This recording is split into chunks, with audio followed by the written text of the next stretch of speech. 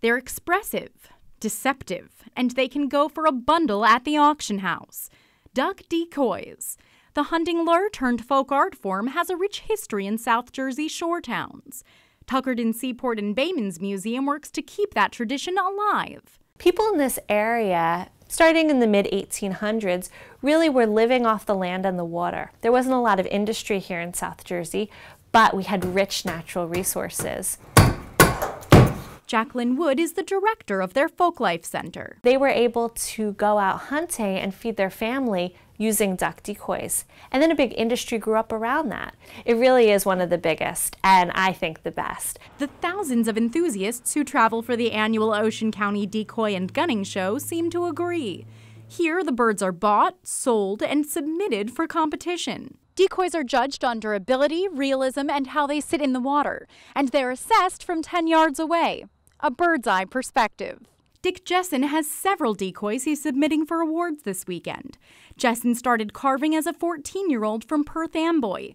He's since migrated south and is now a resident carver at Tuckerton Seaport. It's a skill that's kind of, you know, we would like to keep alive, and that's why we have a lot of the buildings here, is to pass those traditions on. Jessen says with cutting, hollowing, chopping, shaping, gluing, sanding, and painting, the process takes about 8 to 10 hours from start to finish.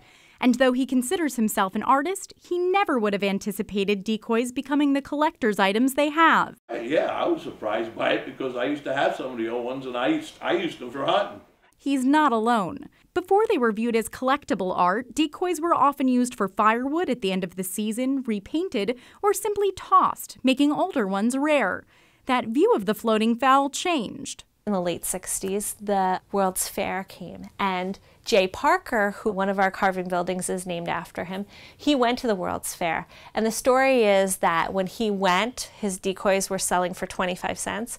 When he came back, he started selling them for $25 because he went somewhere where people were looking at them and saying, wow, this is amazing. Wood is a fan and a collector herself and she delights in seeing the art form, and by extension, Tuckerton, celebrated. Our museum is big and we tell a lot of different stories, but really what ties it all together is this idea of a sense of place. What comes out of knowing about a place is loving it, and what comes out of loving a place is wanting to preserve it. If 32 years of the Decoy and Gunning Festival have shown anything, it's that appreciation for the art form and the town's natural beauty have only grown. In Tuckerton, I'm Maddie Orton for NJTV News.